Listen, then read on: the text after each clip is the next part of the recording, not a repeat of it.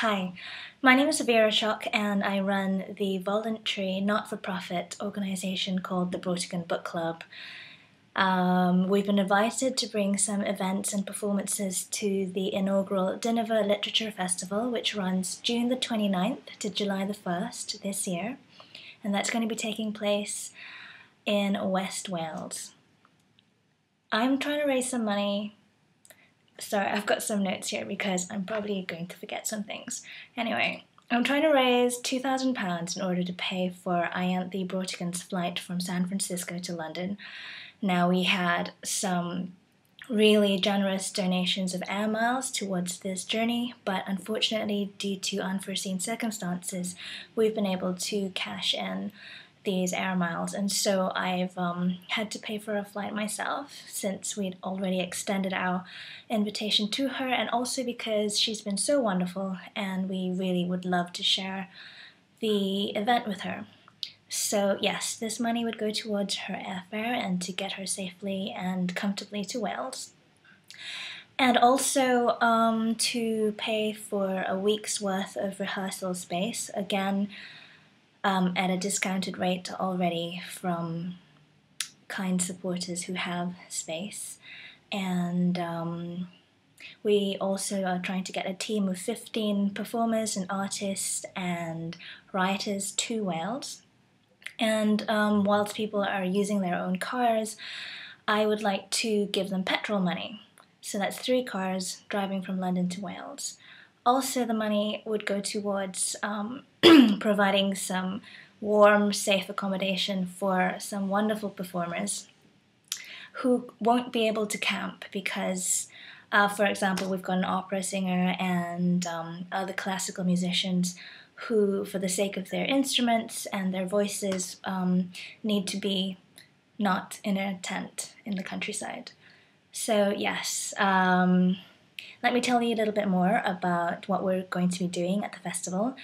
Um, it's the first festival ever in West Wales um, celebrating literature, and uh, the Brautigan Book Club is going to do an event per day. So on the Friday, we're doing uh, we're going to be reading out Richard Brautigan's poem "Please Plant This Book," which um, really combines the idea of reading and with an optimistic future and really sort of the idea that creativity is the way forward and encouraging young people to read or anyone to read really opens up vast wonderful imaginative worlds and that's only a positive thing. So we're recreating the event that um, Richard Brautigan himself did way back when, and he where he distributed about two three thousand seed packets with little poems for free. Um, we're going to be doing this on a much smaller scale of about 200 seed packets, which we'll be making and distributing for free as well. We would also be planning a little Brautigan garden to celebrate Dinefwr's first ever literary festival um, I think it's a beautiful metaphor and a beautiful action to, to plant something that's going to to live and to grow on the grounds of the festival that people can revisit and um, see as a tangible symbol of an optimistic future.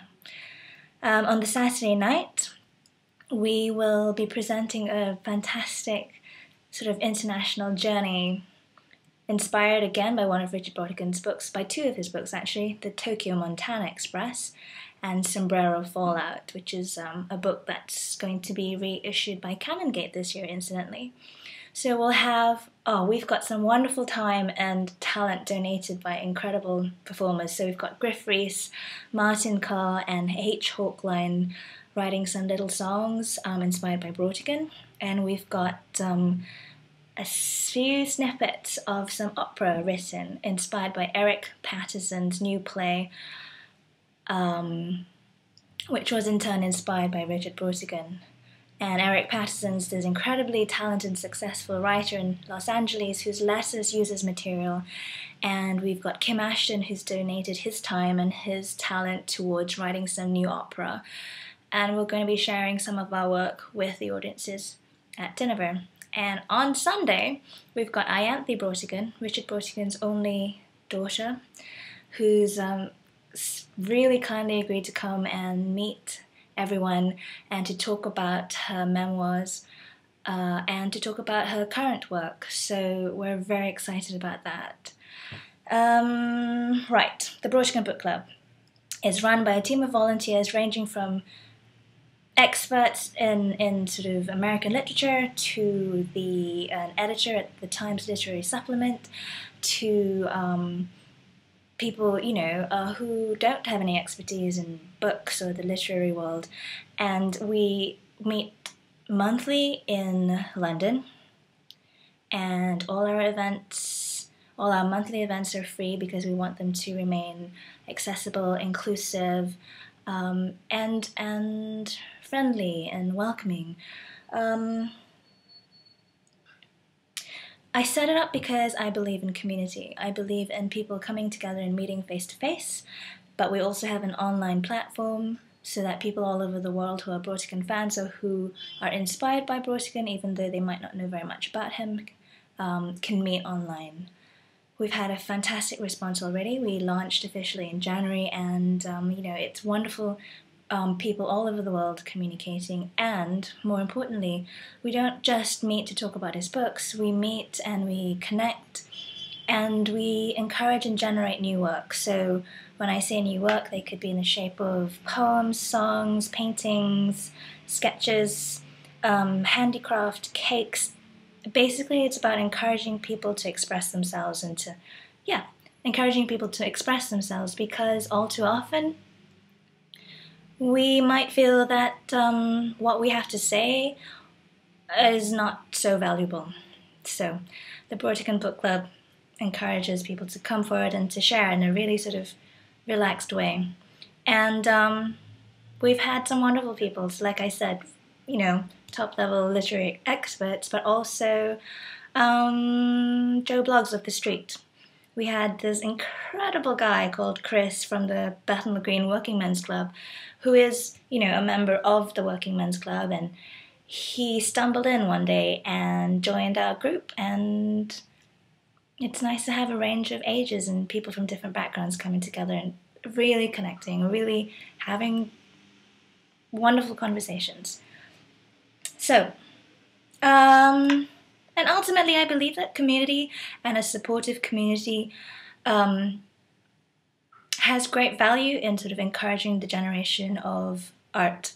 So I think the more people have contact with each other, real contact and real understanding, or a real desire to understand, a desire to have their worlds opened up, and um, that means that there's a greater chance of people creating valuable art.